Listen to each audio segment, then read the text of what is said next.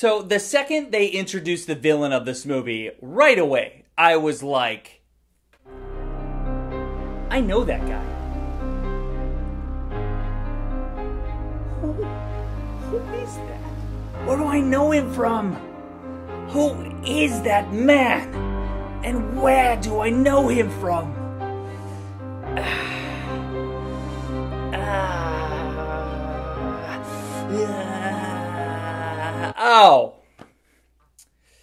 Harry Potter's fucking cousin. Fucking cousin Dudley.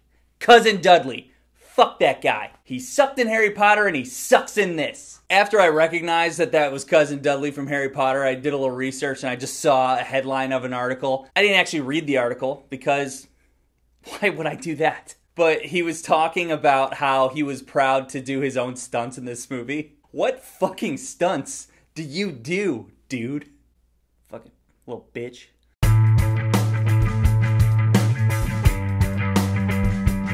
The Old Guard is about a team of immortal warriors led by Charlize Theron, and throughout history, they try to do good things.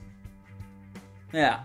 Anyway, there's a new member that gets added to the team, and while she's discovering what it's like to be an immortal, the team is getting hunted down by bad people that want to do bad science on them. Unethical villains that want to do some unethical science.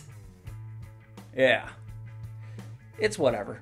Charlize Theron is the only big name in this movie. Her character is old as fuck, like thousands of years old, and she's just trying to train the new girl while also dealing with some shit that she's never dealt with before. I gotta say, Charlize is what's up in this movie. I loved her, she was great. She gave a top notch performance, per usual, and she was also awesome in her action scenes. They must have paid her very well, because she clearly gave a shit and her giving a shit made me give a shit, and I was on board the whole movie. KiKi Layne is the new girl. She just discovered that she can't die. So while her entire life is being turned upside down, she's also being forced to be on this super team of immortals. The best part about her character is that the script doesn't have her go through conventional methods that we typically see with her type of character. You know? They don't use her to introduce us to the rest of the team. And we don't really follow her as the main protagonist. She's just kind of along for the ride. She's got her own role, she's got her own story arc, but she's also got a very interesting perspective. She's not okay with being on this team. And even though she knows that she will outlive her family, she understands that she still has a lot of time she can spend with them. So she has this conflicted motivation, and I was down for it. I don't think I've seen KiKi in anything before, but uh, she did a good job. Good performance.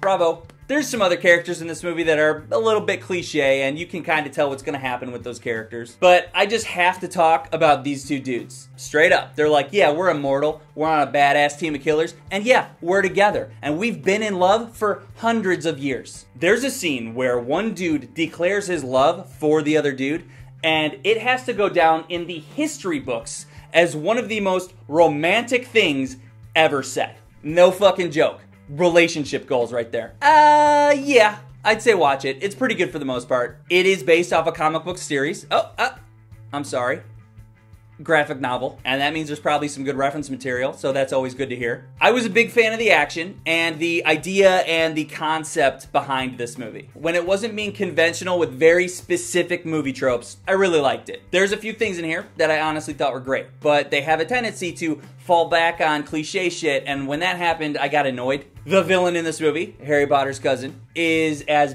basic as it gets. He's a fucking evil corporation guy that wants money and power.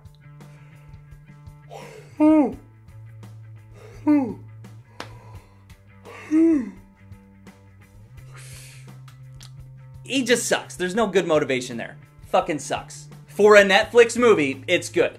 Not as good as Extraction, but still very entertaining. For me, though, personally, this movie suffers from X Men Origins Wolverine syndrome. You remember in the opening credits sequence of X Men Origins Wolverine when Wolverine and Sabretooth are shown fighting in every major war for the last 200 years. It's the best three minute sequence of that whole fucking movie. They're showing awesome characters do crazy shit throughout history. This movie gave me flashbacks of that. I cared more about cool flashbacks historically than the current story in the movie. I want to see these characters doing some shit in the Middle Ages and throughout history. Give me some Game of Thrones shit. There's a small snippet where Charlize Theron's like, I was actually worshipped as a god once.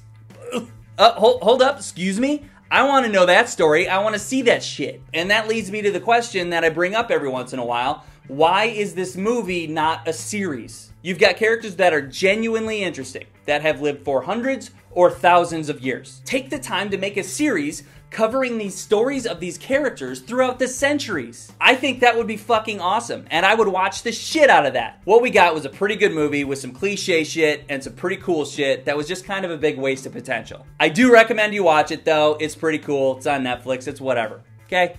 See ya. Subscribe! Oi! Who's that man? Where do I know him from? Oi, who is that man and where do I know him from? Who is that man and where do I know him from?